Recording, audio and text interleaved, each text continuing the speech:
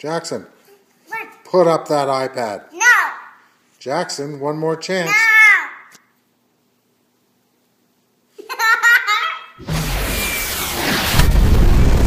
You were asking for it.